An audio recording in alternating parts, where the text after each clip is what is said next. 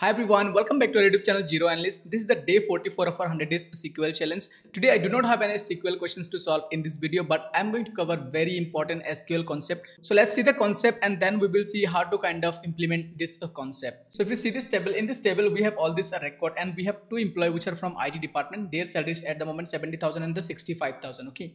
So there is a task which says that change the salary for the people which are from IT department to 90,000. Okay. So let's say you're going to write an update statement. So you're going to say update whatever the RDBMS you're using it.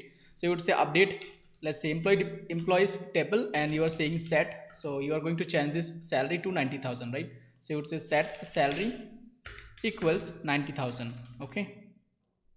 Now here I have not added the where condition intentionally. Let's say I forgot to add this where conditions. Now, if you see, I have updated the salary in 90,000, but I missed to add this where conditions. Now, if you see these records, you will see for all this employee, the salary has changed to 90,000. Okay. Now in SQL, there is no way you can go back to the previous stage. So that means now you have created a mess which you cannot fix it. Okay. So if you see here, the employee records, we have all the salary changed to 90,000.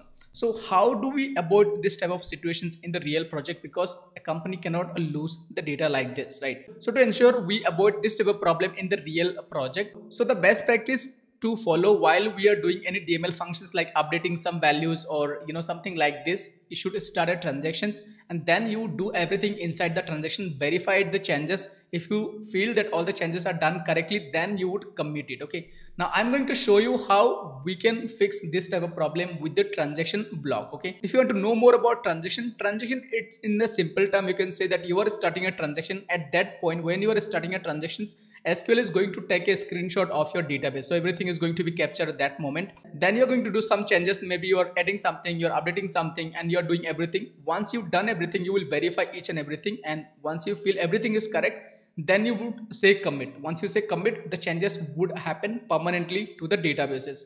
But if you feel something went wrong, then you can roll it back to that screenshot level where the SQL has uh, taken the screenshot where you have started the transactions. So it be roll back to the that level so that you don't mess up something. Okay. So we will see how to start a transactions. So to start a transactions, you can simply go ahead and say, first of all, let me just delete this table and then we're going to create and insert the table again so it has deleted the table and uh, we have inserted the data again luckily i have the data set that's the reason i could uh, do it again but maybe in the real time you would not have the data set right like this insert statement so here we have this to employee which is called IT and their salary is like now 70,000 and 65,000. So I'm going to start a transaction before I make any changes. Whenever you're doing any DML functions, make sure to start a transactions. To start a transaction, you can say start transactions or you can say begin. So both way it works fine for all the RDBMS. So you can say begin and you would see here it is going to start a transaction. So let me run it. You can see that query unsuccessfully begin and you can see it is showing as a clock. That means it has started a transactions. So whatever I'm going to do, it is going to kind of give me the options to roll back to this level. The level is going to be this level where I have everything properly set, okay, in this stage. So here, let's say I want to update this salary to 90,000, okay and uh, now I would just check the salary. You can see the salary is now changed to 90,000 so that means mistakenly all the salary got changed to 90,000 I can do some more update but again it's going to be same. So I would just go ahead and say rollback. So now I have this option called a rollback. So if I just run this rollback you can see the query is rollback and the transaction is closed. That means now my data is changed to the original data right? That means now i can correctly change it. So i would just need to start one more transactions. Here the transaction is started again. Let me just go ahead and make a change. This time i'm just going to call where? Department equals it okay? Department equals it okay? Let me just go ahead and run it. So it has changed to update. You can see it has updated two records which is correct. Again we can verify we're still inside the transactions so if in case something goes wrong i can roll it back.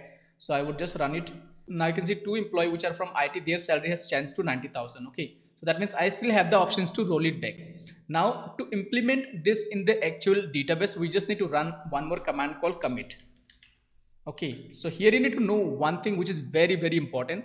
Once you say this commit everything is going to change permanently in the database. You will not be able to roll it back. So make sure to verify two times three times test it.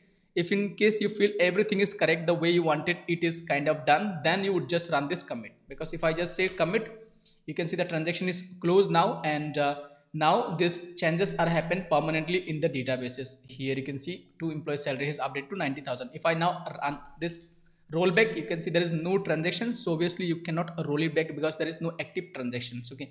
To roll it back you first need to start a transactions. That time it is going to take a screenshot and then only in that label you can roll it back okay? So this is how you can start a transactions and uh, you can you have this option which is called rollback and you have commit to implement the changes uh, forever in the database and rollback to go back to this which is called this stage where you have started the transactions. That's it for this video guys. I hope it was helpful. If you have learned something new, do subscribe to my YouTube channel. Have a good day. Take care. Bye-bye.